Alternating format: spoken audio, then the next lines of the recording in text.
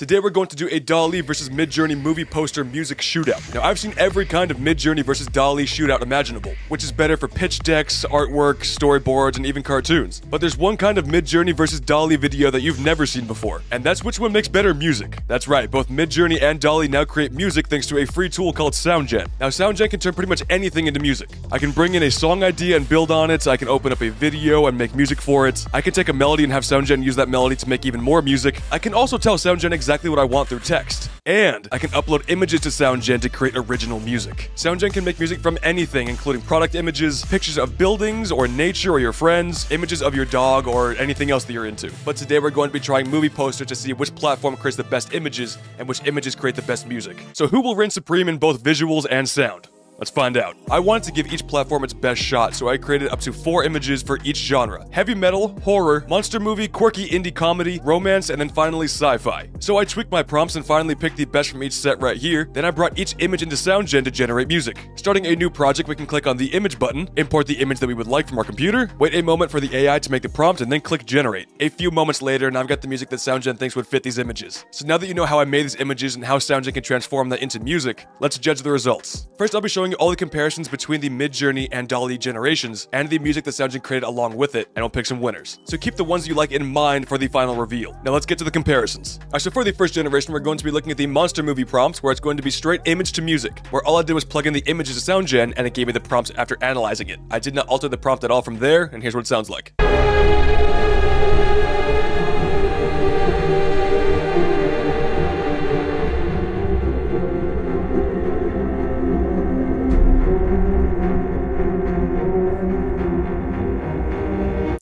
Very interesting. Okay. Captured the essence pretty well over there, but now let's go on over to the next monster movie poster, where we have this image right here. So let's see which poster we thought made the best music.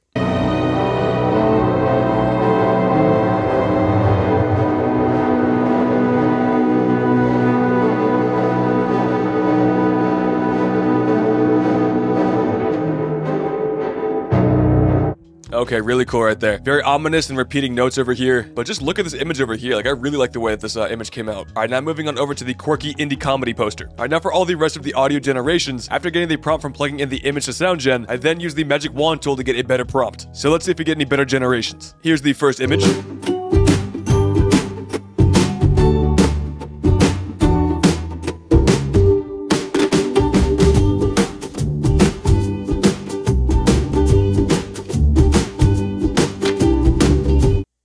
Okay, so there I think it fit the poster pretty well, and I think that sounded very playful and could have been during like a montage sort of thing for the movie. Definitely very quirky. And now for its comparison.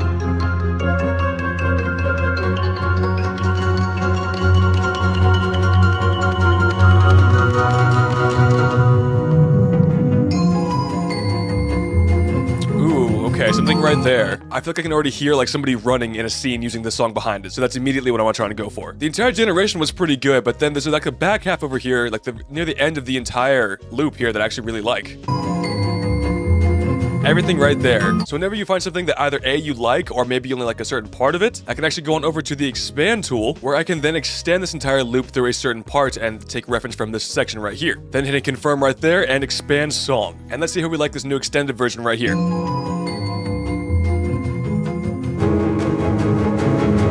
Oh, perfect. That's exactly what I wanted.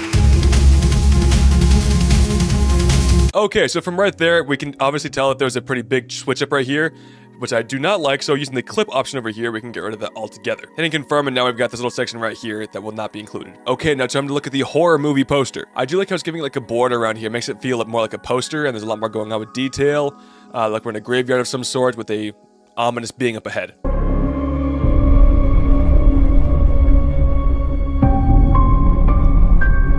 I those keys.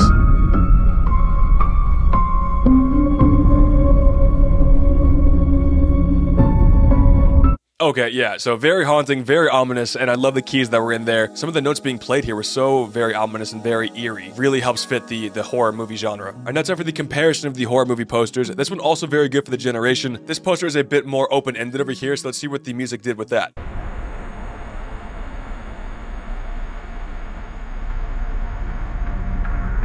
Some more like build up on this one.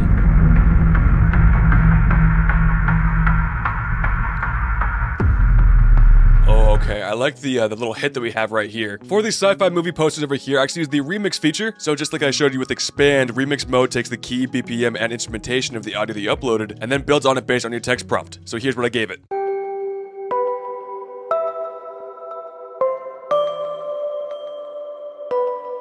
And here's what it made.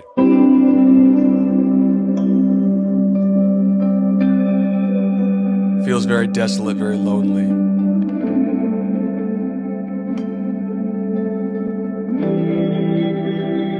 Okay, and as you can see over here, the feeling is isolated and expansive to where it's a very, you know, it's an ever-expanding universe and completely alone.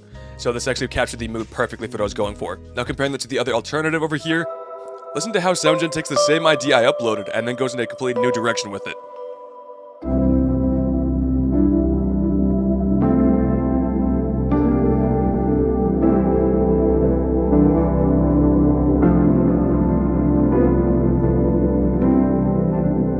Both of these I feel capture the essence of what I'm going for. Still isolated, but more awe-inspiring and a little bit more hopeful. And one really fun way to test out your generation is going to be by putting some video behind it. Going up to the top of the project, you can hit this button right here, or I can copy a link and plug it straight into SoundGen.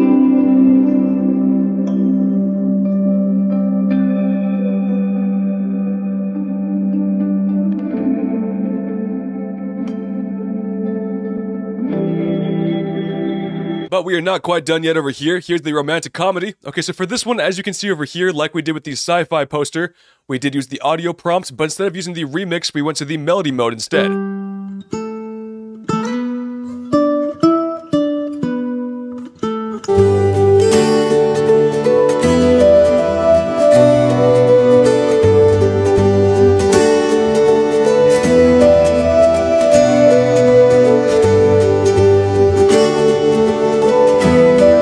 Okay, definitely good over there. I feel like this is definitely a poster that you, that you, would see for romantic comedy. Even going as far over here to have the credits and everything on the bottom over there and disclaimers and everything. I do know over here that her arm is going to be like a, a mile long over this guy's shoulder and feet definitely shouldn't be bending that way, but that's okay. Because now we can go on over to the comparison over here with a bunch of balloons, butterflies, things flying in the background, very Wonderland sort of deal in the background.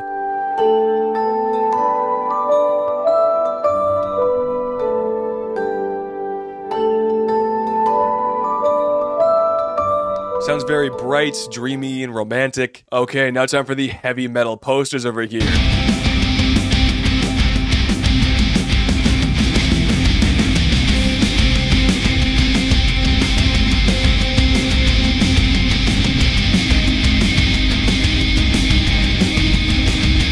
Uh, this one right here definitely fits my own taste, and I think this one worked out very, very well here. But now we can go check out the final comparison over here. More of like a hair metal, heavy rock sort of deal, and let's see how it did.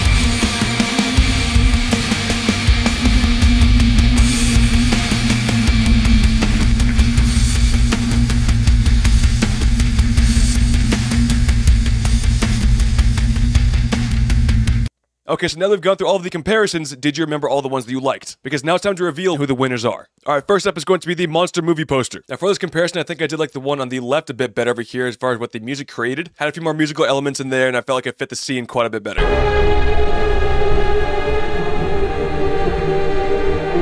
Alright, now let's go on over to the romantic movie poster. I do love whenever AI tries to generate like cap like a title or caption or something like that. It always does really, really well. Okay, so out of these two right here, over on the right, we're going to have the Midjourney, which I think did have the better music.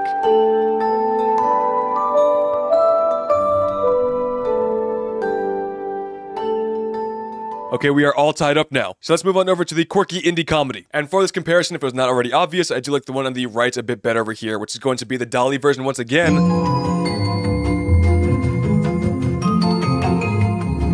Okay, onto the horror movie poster. And now for this one, it wasn't really even close for me. This one was fine. I just think that the one captured in this picture over here was miles better. So once again, DALL-E takes another point there.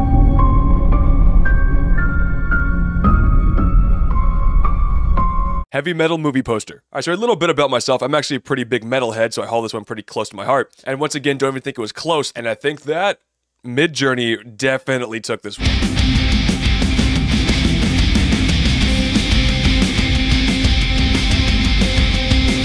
Uh, so this is going to be the breaking point, the tiebreaker. Is DALL-E going to run away with it, or can Midjourney make a comeback? Okay, and for these sci-fi movie posters over here, I think as far as the images go, I may like this one a little bit better. It's got some more detail on the suit and everything. But I think as far as the music that was created from the image, definitely the DALL-E took that one as well.